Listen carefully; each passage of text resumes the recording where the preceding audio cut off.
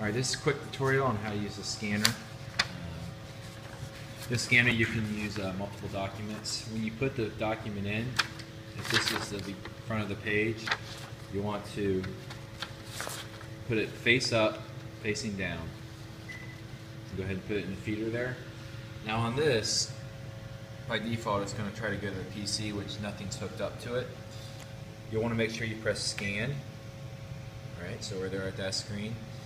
And on this screen there is a save forward button right there. So we're going to press this button here. And this is where you're going to take your flash drive here. You're going to plug it in here.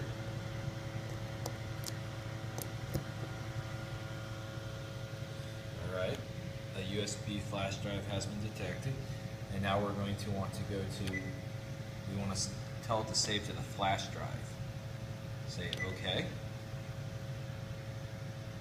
And OK. And in here you can get a little creative. You can uh, tell you tell what kind of document you want. You can say a PDF.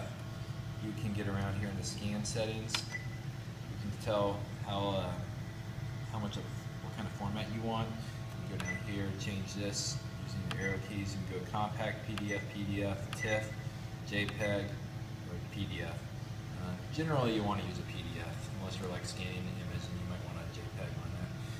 Um, so to get out of that screen, you want to hit back.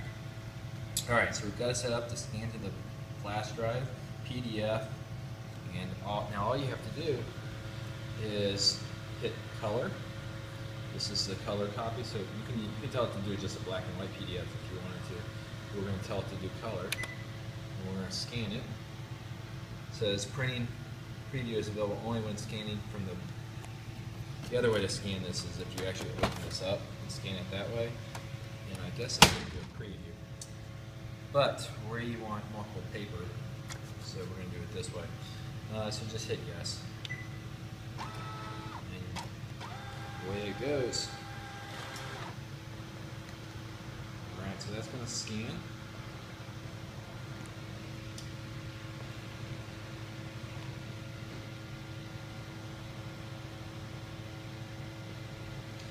And your paper's going to come out down there at the bottom there.